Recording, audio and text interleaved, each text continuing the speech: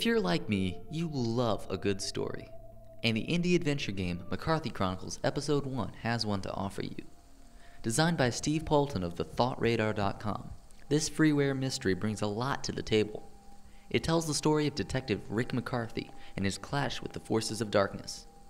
Made with the adventure game studio engine, McCarthy brings back the old charm of 90s point and click adventures, but kicks the graphics up a notch with spectacular visual effects such as rain, puddle reflections, and film grain. Speaking of, the game is presented in mostly black and white, and when combined with the grain, it gives a film noir feel. The animations are smooth and the interface is intuitive, but one of the best features about McCarthy is that it is fully voiced, with some of the performances being eh, a bit awkward, but overall it's excellent and really adds to the experience. But while the atmosphere is definitely unnerving, there aren't any real scares in the game. There are just not really any places where you feel endangered, and the game is free of jump scenes.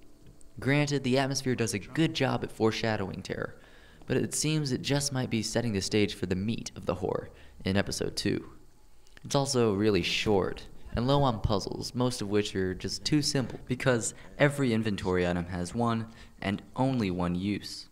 Also, I don't know how Rick McCarthy became such a famous detective when he solves every single mystery by reading someone's diary that says, I am Bob Blossom, here are all my motivations, and this is what you should do next.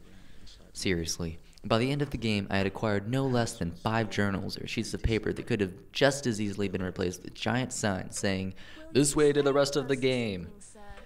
It would be nice if episode 2 featured a journal system so McCarthy could keep track of all of his paper scraps.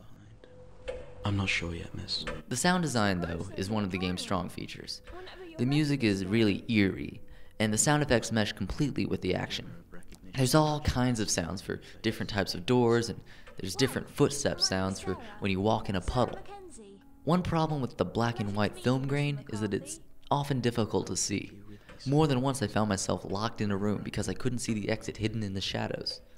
I also wish the game was uh, more lenient when it came to room margins so I wouldn't have to be trying to click a, a uh, 4 pixel wide space in order to move to the next screen.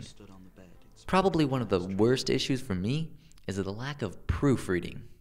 There are a lot of places where the dialogue doesn't match the subtitles, and the author seems to have a bit of a problem with homophones, such as it's and it's and there and there, and he really doesn't like putting periods after Mr. But besides all my complaints, you should still download this game. It's really one of the best of its kind in terms of immersion and storytelling.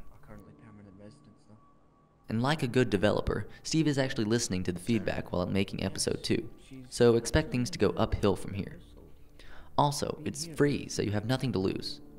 McCarthy Chronicles score on my top secret scale that I will never explain? Cantaloupe.